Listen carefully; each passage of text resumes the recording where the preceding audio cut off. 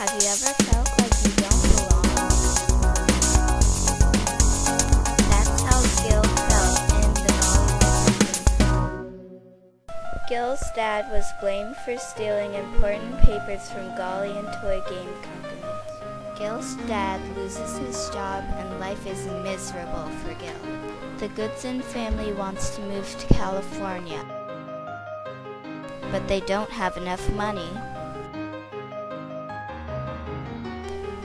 Gil gets teased and bullied because of what his dad might have done. Gil is certain that if he can win the Gollywhopper game, his family will be free of shame. The prize for the game is a college scholarship, a copy of each game and toy from the.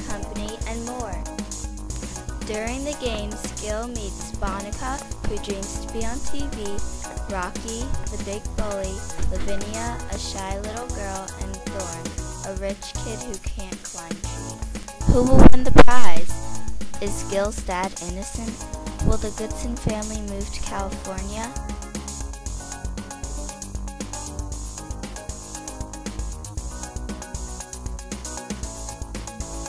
Find out in the Gollywhopper game.